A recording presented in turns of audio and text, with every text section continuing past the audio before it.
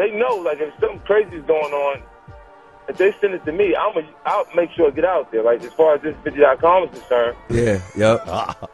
and those other properties. So they sent it to me. Really kind of fo- felt like those photographs was not happening because of Cassie. I felt like they was happening because of Puffy. Right, right. Oh, wow. It's open season on Diddy, and if anyone is making the most of it, it's 50 Cent. Diddy has been forced into hiding following the recent string of allegations against him.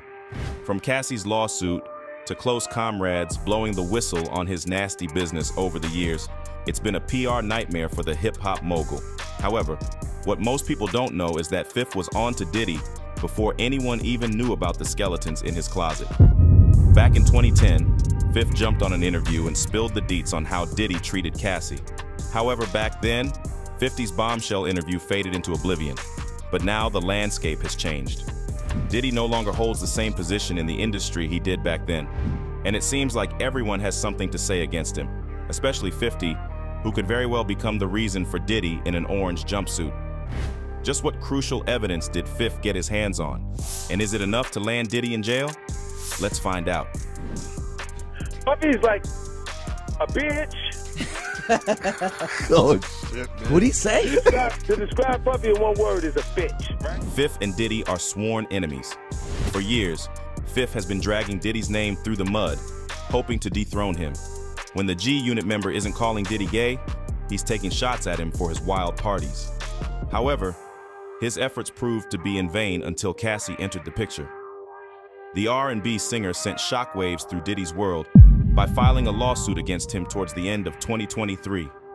From years of physical abuse to forcing her into bed with male escorts, Cassie spilled the beans on everything in the most chilling detail. While Cassie settled the matter outside of court with a $30 million settlement, her lawsuit opened the floodgates. Fans started combing through Diddy's socials with a fine-toothed comb, putting everything under the magnifying glass. Suddenly, that video of Diddy scolding Cassie while she was covered with a blanket wasn't funny anymore. What you gotta say now? What you gotta say now? You ain't got shit to say. However, if there was one person who wasn't shocked, it was 50 Cent. He knew about Diddy's abuse long before anyone. In fact, back in 2010, Fif tried pulling back the curtains on the relationship, but his words were chalked up to that of a jealous rival. During an interview with DJ Whoo Kid on Shade 4550, Cent revealed that back in the day, he received some explicit pictures of Cassie on his phone. Shocked, he rang up Diddy, asking him for an explanation. Send me the girl pictures, like pictures of this girl, like not the shit that y'all saw. Worse, way worse. Wow. Are you kidding me Yeah? Like penetration pictures and and Nah, come on. Instead, Diddy turned the tables on Fif, questioning him on how he got his hands on those pictures. But Fif didn't know.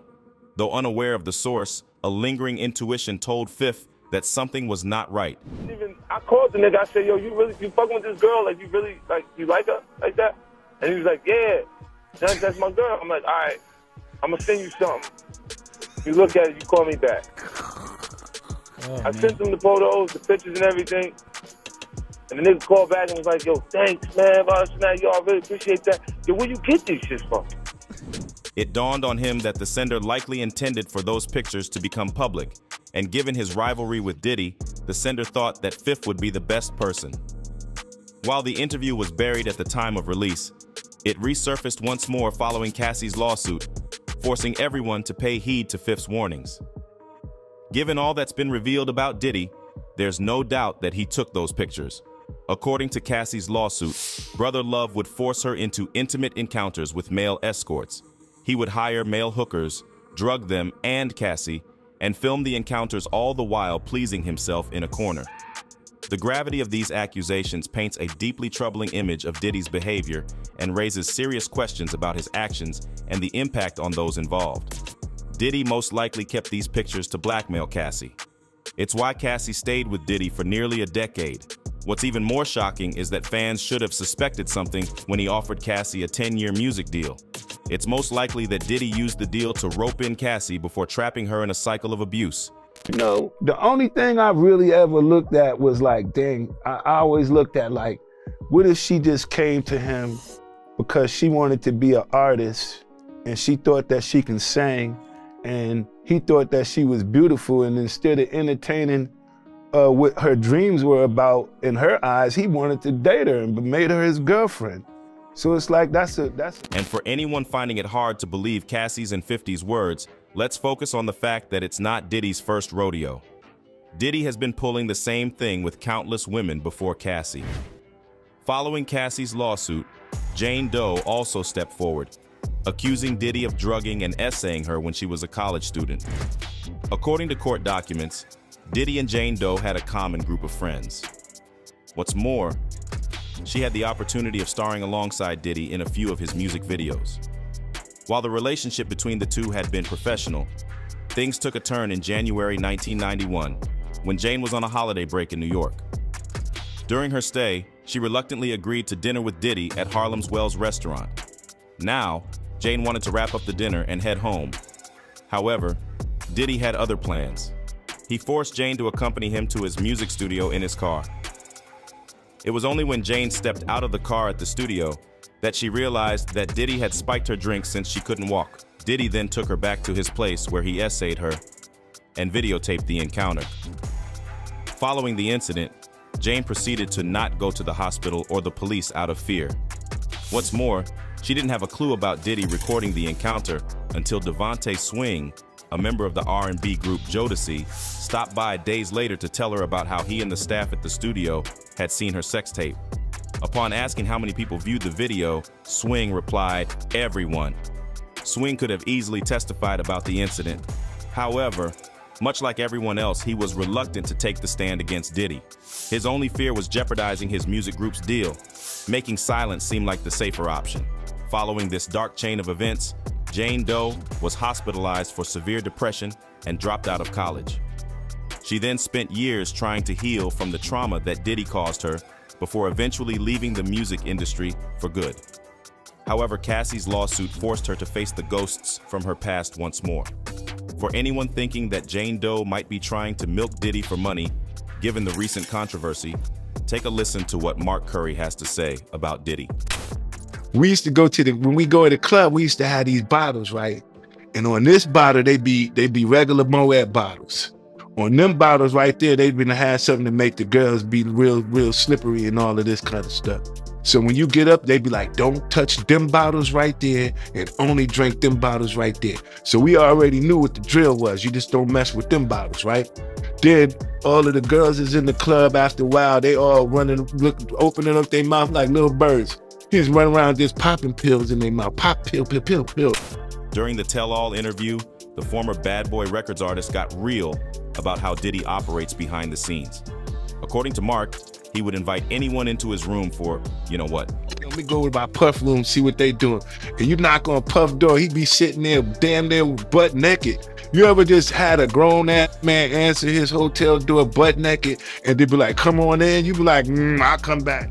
He compared Diddy's situation to that of R. Kelly, even hinting that more women might come forward in the future.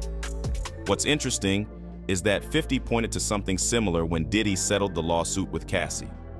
He posted a screenshot of the story on his Instagram with the caption, LOL. He paid that money real quick. Should have done that before the sharks saw the blood in the water. And here they come in 5, 4, 3, 2, won every woman he ever put his hand on. At this point, there's no doubt that Diddy has been abusing countless women over the years. As the relationships, I seen him go through the relationship with Kim. I seen um, his arrogance in the relationship. I seen violent times with him in his relationships, not just with Kim, where I seen him make in all of his relationships, if you ask me. While only a few of them have dared to take Diddy to court, a lot of them have revealed the truth in tell-all interviews. Gina Huynh, Diddy's ex, accused the record executive of stomping on her stomach and grabbing her hair, and that's not all. Upon learning that Gina was pregnant with her child, Diddy proceeded to pay her off to abort the baby. He like stomped on my stomach like really hard and I like took the wind out of my breath. I couldn't even I couldn't breathe and he kept but he kept hitting me and I was like pleading to him like can you just can you stop? I can't breathe. That said, while Gina managed to break free from Diddy's influence, not everyone has been as fortunate. Kim Porter stands as a stark example of the repercussions that can unfold when one ventures too close to Diddy's orbit. At the end of the day, whoever's around him will. Th- this is a, a, a the, the final notice, the final note, because they'll suck the life out of him like everybody else that he's been around. Although, according to autopsy reports, Kim died due to complications from pneumonia. However, not everyone buys it. Jaguar Wright sure doesn't. Kim died from pneumonia, but there's the first coroner's report that said that she died. It, it was ruled a homicide, and they found toxins in her body to prove that she had been poisoned. You know, they, they have poisons that create heart attack and pneumonia likes. That said, the question is why would Diddy take out the mother of her kids? Well, according to Gene Deal, Diddy's ex bodyguard, Cassie's story is Kim's story. During the time Kim was alive, several sources revealed that Kim suffered intense abuse at Diddy's hands. However, things reached a turning point when it was revealed that Porter was left with a broken nose following an argument with Diddy.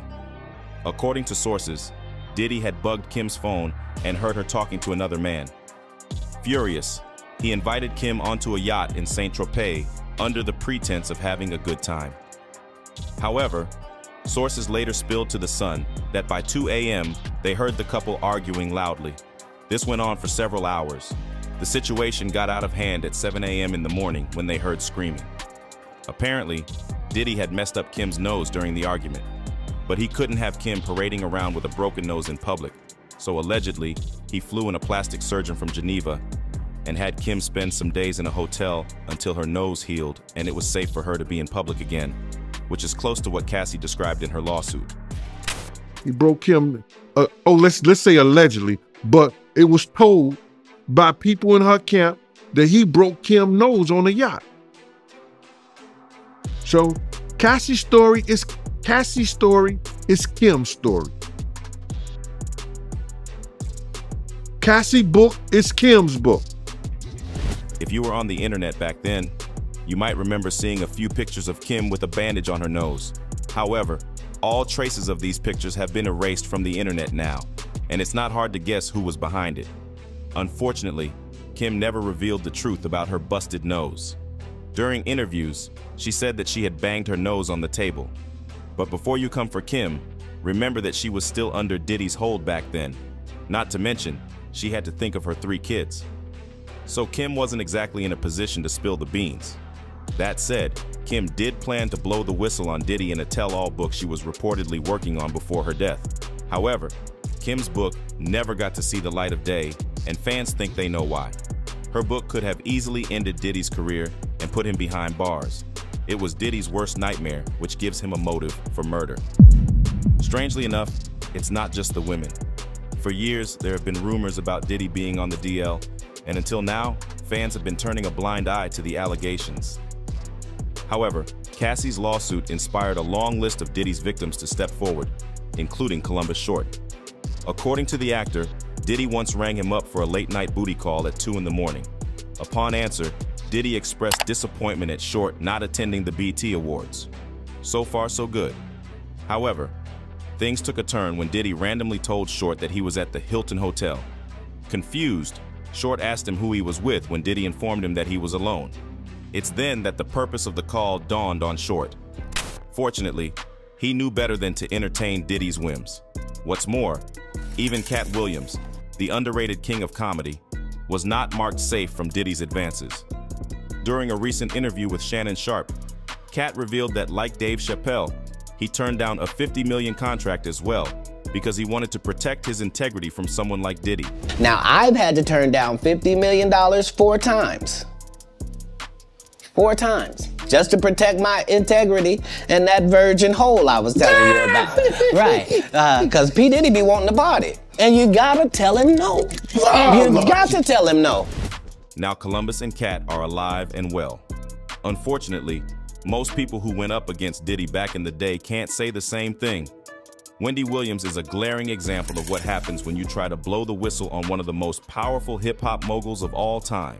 Brought that up. Kirk Burrowes, I did an interview with him some months ago. And he told a story about Wendy Williams. She got fired from Hot 97 because she had a picture of Puffy. And she was saying on air that she was going to reveal the picture. During the early part of her career, the former broadcaster landed a job for New York City's Hot 97 radio station in 1994, a year after Bad Boy Records was founded. Despite Bad Boy artists being big on the radio, Wendy and Diddy did not get along. During an episode of the radio show The Wendy Williams Experience in 2009, Wendy revealed that the music mogul went as far as instructing members of Total, an all-female R&B trio, to fight her when she worked at the radio station. Recalling the incident, Wendy said, I got off the air one day, them Total B's were downstairs, and everybody upstairs at the radio station was looking down, egging it on, waiting for something to go down. Thankfully, her boyfriend at the time stepped in before things hit the fan. But the question remains, why would Diddy go after a radio host? Well, there are two theories. According to one, Misa Hilton, Diddy's baby mama was at the radio station with her son, Justin Combs, who was only an infant at the time, along with bad boy rival Suge Knight. Apparently, Diddy got wind of his son and his mortal enemy being in the same room, and he wasn't happy. To make things worse, the streets were talking about Wendy snapping a picture of Suge playing with Diddy's kid and releasing it to the public. So that's when Diddy rounded up his soldiers and decided to put an end to the situation, the gangster way. However, according to another theory, it wasn't a picture of Justin and Suge that had Diddy all riled up. Apparently, Wendy had landed her hands on a photo of Diddy getting intimate with another man. The photo showed someone pulling down Diddy's shorts during his vacation in Cancun. Now, Wendy might not have been beaten up the way Diddy intended, but he did get her fired. And if you think Wendy is making up a wild story for a chance in the spotlight, then think again because Gene Deal confirmed her story during an interview with The Art of Dialogue. For whatever reason, dude was playing with Puff. He went behind him and grabbed his trunks and pulled them down. When he grabbed his trunk to pull us down, some girls that was taking pictures. They took the, that picture and emailed it back to Wendy Williams.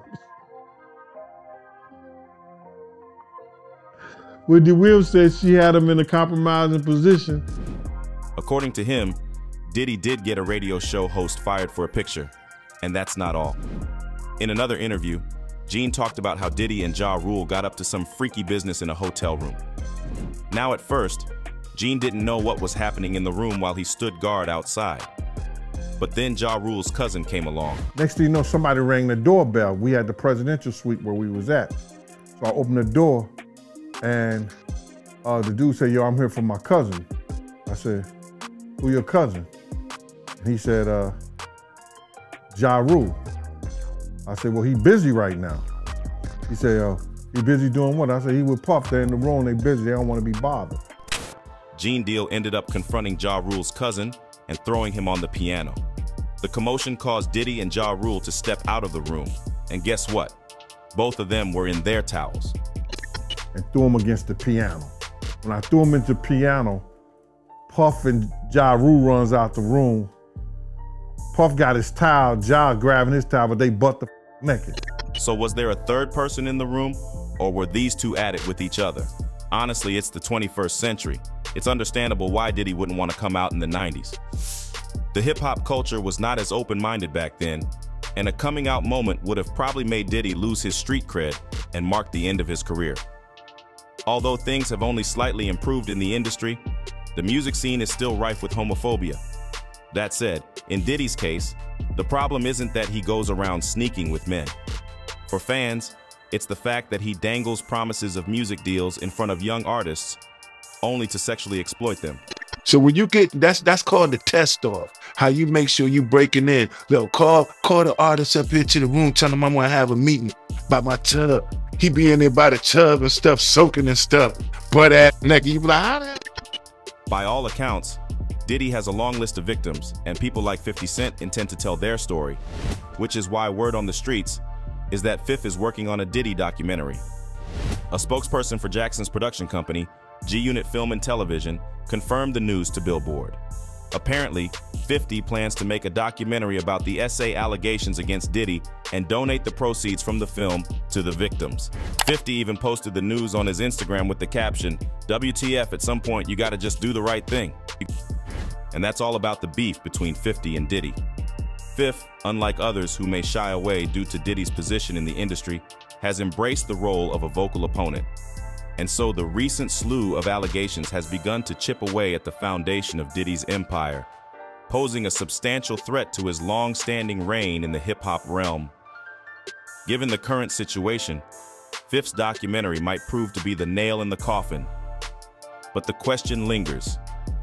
Is Diddy truly on the brink of irreparable damage, forced to witness the unraveling of the career he built? Only time holds the answer to whether Diddy's empire will withstand the storm or succumb to the mounting challenges and controversies that now surround it. Until then, folks, keep it real and stay unapologetically Rizzle.